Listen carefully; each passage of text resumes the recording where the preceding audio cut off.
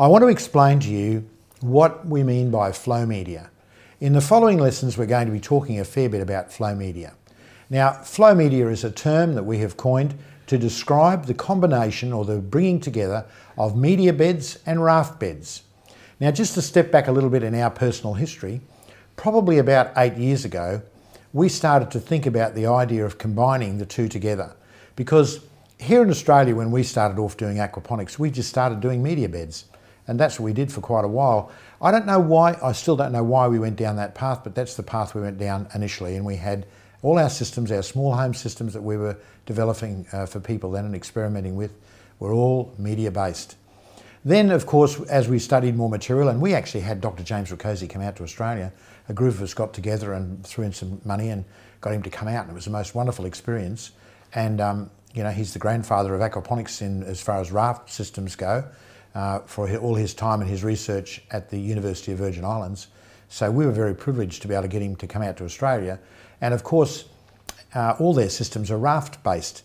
And we noticed from that time on that uh, in America, the systems that we would see on the internet and the places I would visit when I started going to America were all ran raft systems.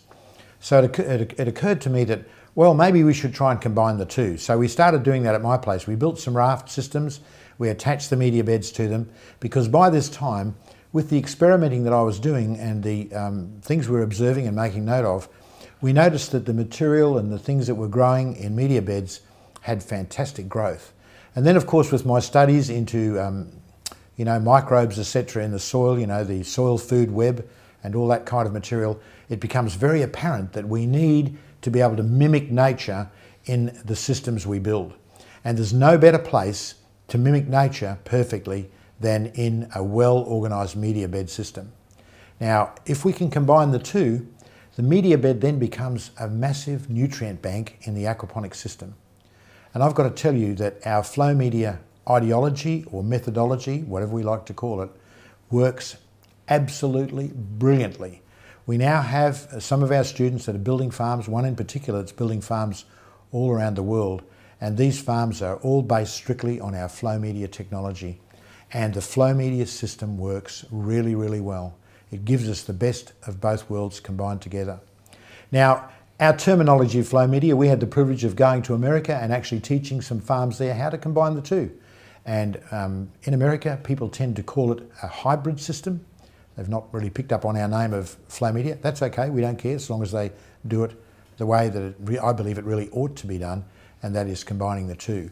And in our commercial aquaponics section, as we get further into this training course, you'll find we give you the uh, proportions we believe worked, work really well with uh, a commercial system.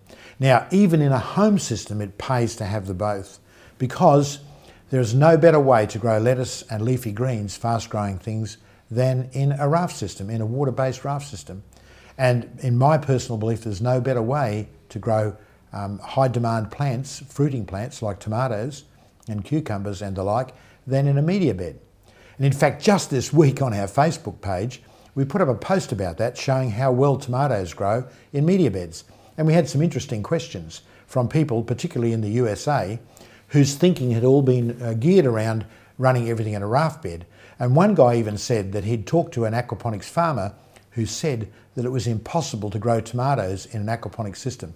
Well, hey, that's a bit funny as far as I'm concerned because look at some of these photographs we've got here of tomatoes growing in this farm in Hong Kong that we've recently been there to film. Just look at the tomatoes. They're unbelievable. And they're not, it's not fake photography. This is real. You can grow the most fantastic high demand plants like tomatoes in an aquaponic system when you incorporate our FloMedia technology.